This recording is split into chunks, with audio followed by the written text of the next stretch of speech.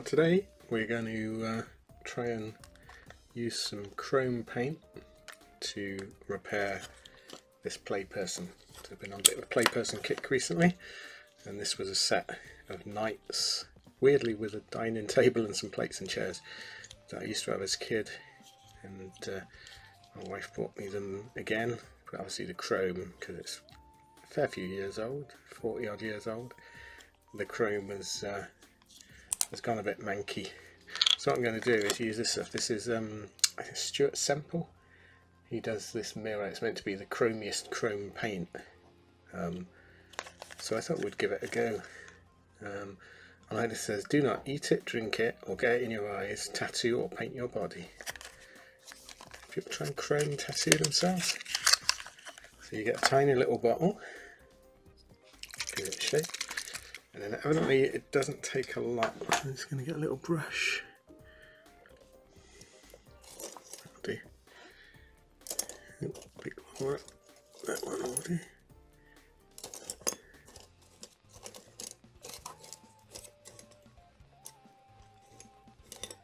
You're trying to find a brush that's uh, going to be okay for it. I'm going to try that one. So what we're going to do is just ooh.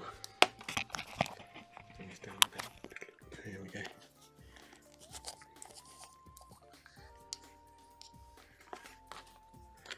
Now I understand. I really need to stick this on something. What can I stick it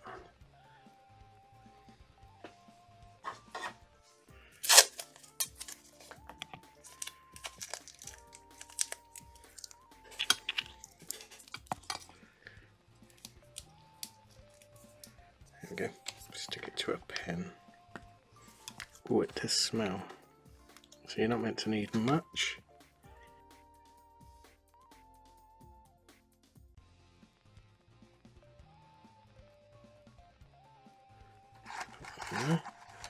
And we're also going to have a go at doing his chrome bodywork.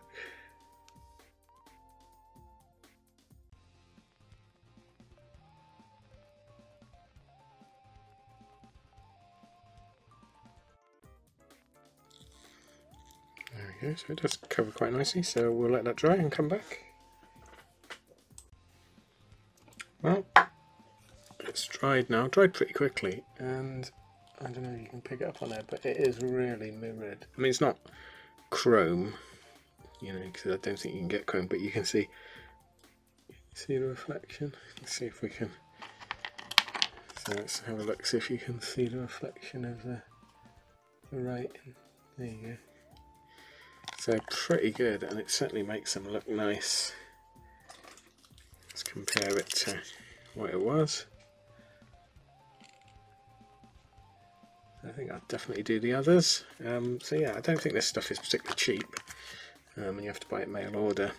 Um, but it's really good. I mean, got a lot of uses. I think it will be. Uh, I'm thinking of uh, you know the old Cylon figures.